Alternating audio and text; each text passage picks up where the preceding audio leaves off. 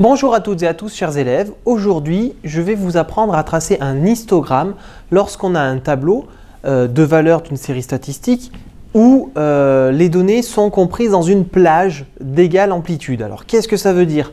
Eh bien ici en fait on compte le nombre de pulsations par minute mais comme il y en a beaucoup des pulsations par minute différentes, on va les regrouper par classe. Donc la première valeur finalement de la série, c'est un ensemble de plusieurs pulsations par minute. Ici, ben, c'est entre 54 et 58, mais attention, 58 pulsations exclues puisqu'on a ici un petit crochet qui va vers l'extérieur, ce qui signifie que quand on a 58 pulsations par minute, elle n'est pas comptée euh, dans cette ligne-là. Elle sera comptée dans la ligne du dessous, ou 58, là par contre il va être inclus dans la plage entre 58 et 62 puisque le crochet va vers l'intérieur euh, de la plage. Et donc ainsi de suite, on va avoir ici un tableau d'effectifs pour une série de statistiques représentée en classe. Alors la classe, qu'est-ce que c'est? Bah, C'est l'ensemble des valeurs euh, dans lesquelles vont être les valeurs de la série statistique. C'est ça la, classe. Et l'amplitude, l'amplitude, elle est de 4 euh, pulsations par minute. C'est la différence qu'il y a entre bah, les bornes de ma classe d'égale amplitude. Donc on va essayer de, euh, tracer un histogramme qui va représenter euh, cette série statistique. Alors un histogramme, qu'est-ce que c'est?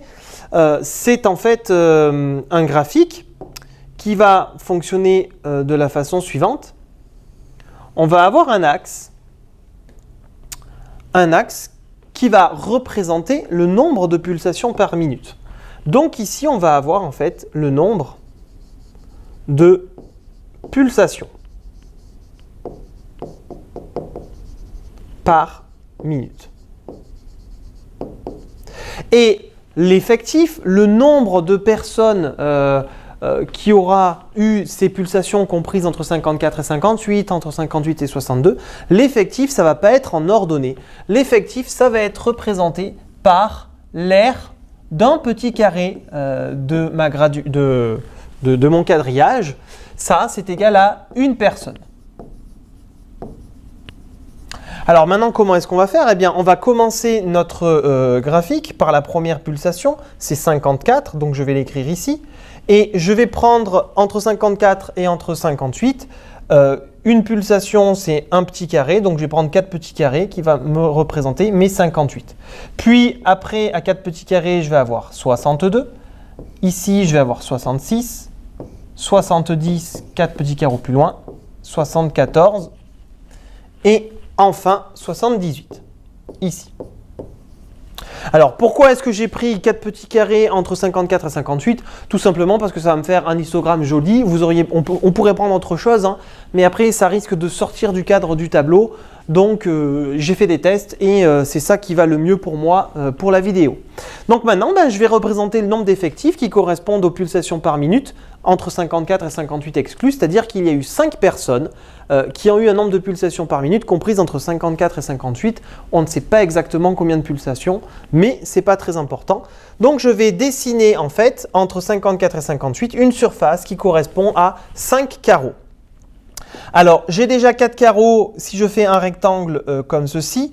Donc, je vais prendre juste un quart des, petits carreaux supérieurs, des 4 autres petits carreaux, pour avoir en fait un rectangle ici qui, a une aire qui correspond à 5 petits carreaux. J'ai 4 petits carreaux pleins et le cinquième, il a été découpé en 4 petits quarts de chaque petit carreau qui est ici pour qu'en fait la représentation du nombre d'effectifs qui est 5 soit un rectangle ici. Et c'est ça un histogramme, ça va être des rectangles collés les uns aux autres. Entre 58 et 62, il va y avoir 26 euh, personnes.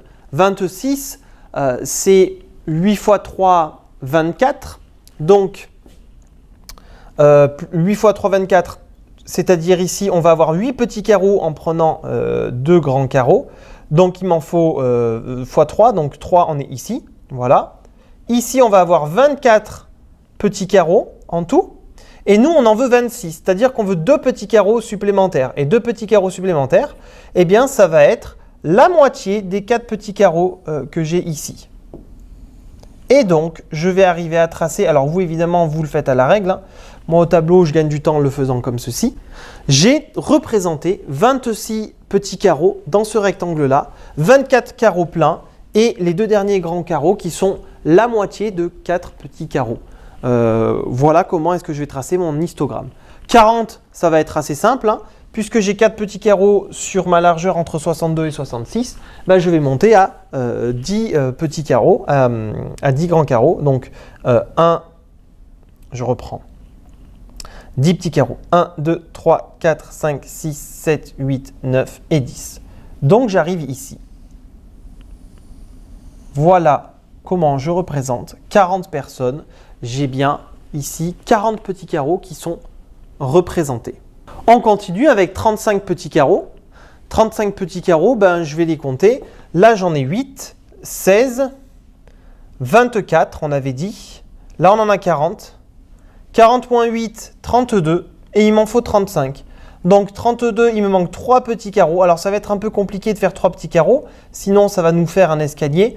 Donc on va représenter 33, euh, on enlève un petit carreau en enlevant ici une partie de la dernière ligne de petits carreaux, ce qui correspond à 35 euh, d'effectifs. 25 euh, d'effectifs, on était à 26 ici. À 26, on est là à la moitié. 25, c'est un tout petit peu moins. Donc, je vais juste un tout petit peu moins. Alors, je ne cherche pas la précision ici hein, pour savoir où est-ce que je place exactement euh, la hauteur de mon rectangle. Il doit être plus petit que ici, puisque ici, on était à 26. Un tout petit peu plus petit en dessous.